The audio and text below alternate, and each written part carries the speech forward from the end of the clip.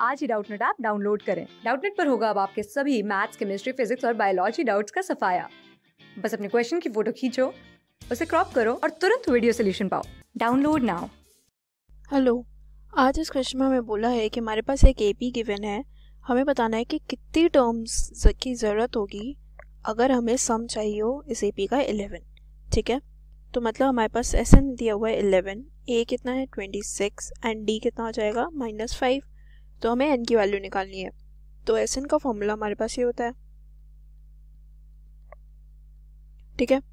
तो यहाँ पे सारी वैल्यूज़ रखते हैं eleven is equals to n by two into two into twenty six plus n minus one into minus five तो twenty two is equals to n into fifty two minus five n plus five तो यहाँ से मेरे पास क्या बन जाएगी? Quadratic equation